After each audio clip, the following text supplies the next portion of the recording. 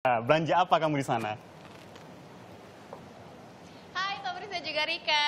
Yes, saya bang, pengen banget belanja dong. Apalagi mumpung lagi ada di antara mainan dan juga pengunjung yang berburu mainan di bazar kali ini.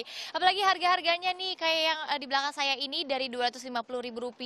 Bahkan sekarang bisa uh, mencapai Rp70.000 sudah mendapatkan My Little Pony. Nah, kalau ngomongin tentang acara di sini, memang ini lagi diselenggarakan yaitu adalah Key Station uh, uh, Warehouse Sale di Mall Senayan City. Ini merupakan bazar mainan ya yang memang bikin heboh ibu-ibu karena ngantrinya itu loh bisa dari lantai 7 bahkan acaranya aja adanya di lantai 8 tapi kayaknya pada rela aja tuh karena memang bisa mendapatkan diskon. Ini dengan besarnya le, uh, bisa mencapai 90% yang ditawarkan di sini ya. Gede banget kan? Dan juga ini memang sudah diselenggarakan sejak uh, jam 10 pagi nih. Jadi setelah gate dibuka sampai sekarang ini memang ibu-ibu uh, dan juga para orang tua ini masih sibuk untuk bisa memborong mainan sesuai keinginan. Kalau mainan yang ada di sini banyak banget pilihannya ya. Dan harganya nih beragam. Mulai dari Rp10.000 sampai dengan sekitar 1 juta rupiah. Kalau mainan buat anak laki-laki tadi saya sempat lihat-lihat ada Hot Wheels, kemudian ada Lego, ada board game juga. Dan untuk anak perempuan di pilihannya juga banyak banget, gak kalah banyaknya. Mulai dari Barbie, ada boneka, ada juga Lego yang khusus untuk perempuan ya. Dan uh, kalau memang um, ada yang mau datang ke sini gitu kan buat nyari, kalau bisa sih listnya tuh dicatat dari rumah dulu gitu ya.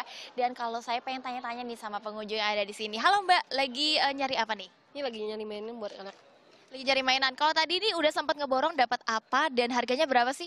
Macam-macam sih mbak, harganya ada yang 100, dua setengah, ada yang 50 ribu juga. Wah, nah kalau ngantrinya bener gak sih ngantrinya tadi dari lantai 7 udah berapa lama tadi ngantri sebelum ke sini? Ya setengah jam juga ngantri. Sekitar setengah jam, tapi gimana pengalamannya?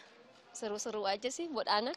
Seru-seru aja. Thank you banget ya Mbak ya. Selamat lanjutin belanjanya lagi. Nah itu dia salah satu pengunjung yang tetap seru aja karena memang buat anak gitu ya. Kalau mekanismenya nih buat pengunjung yang datang ke sini harus tahu juga supaya nantinya nggak kaget karena memang di sini ketika datang ini dibagi menjadi kloter ya yang sesuai dengan jam kedatangan dan nantinya diberikan waktu 20 menit aja untuk bisa memborong mainan yang sesuai dengan keinginan tentunya di sini. Dan yang buat mau ke sini tenang aja karena ini acaranya masih akan berlangsung sampai esok hari yaitu Sabtu di 29 September September 2018 dari jam 10 pagi sampai jam 10 malam di The Hall Senayan City. Jadi gimana Tomris sama Rika mungkin uh, mau nitip atau mau langsung ke sini juga boleh banget ya mungkin buat beli buat si kecil nih.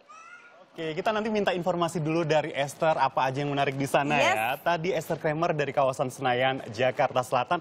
Huh,